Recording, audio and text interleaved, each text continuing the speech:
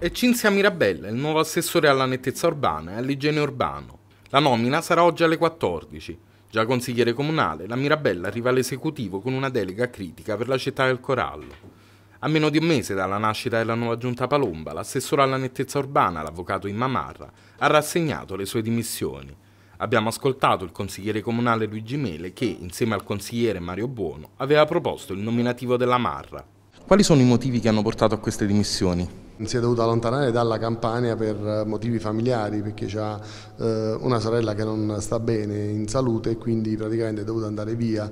Siccome la cosa purtroppo eh, non si risolve in breve tempo eh, ha deciso di lasciare per non creare problemi visto che comunque il settore è particolare e quindi c'è bisogno della giusta attenzione eh, per portare avanti le problematiche da risolvere. Si è già scelta un nuovo assessore, una nuova delega?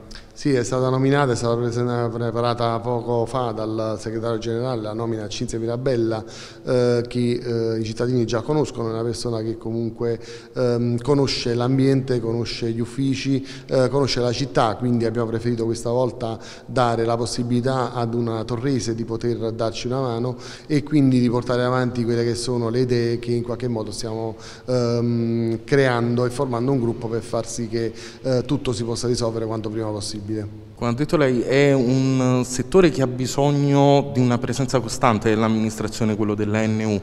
Questo potrà provocare dei ritardi Purtroppo le cose da ehm, seguire sono tante sicuramente, eh, gli uffici sono in difficoltà, eh, la politica, eh, noi che siamo entrati adesso a far parte della maggioranza e che eh, abbiamo in questo momento il, la, responsabilità di questo settore, ehm, abbiamo tante cose da verificare sia nel capitolato sia nella, eh, nel contratto, quindi eh, si vede purtroppo in strada non viene eseguito lo spazzamento, c'è tanta spazzatura, quindi in qualche modo dobbiamo trovare un il modo per poter eh, risolvere queste problematiche nell'immediato, altrimenti non, non ha senso. Cosa risponde ai tanti torresi che stanno avanzando polemiche nelle ultime settimane contro l'amministrazione?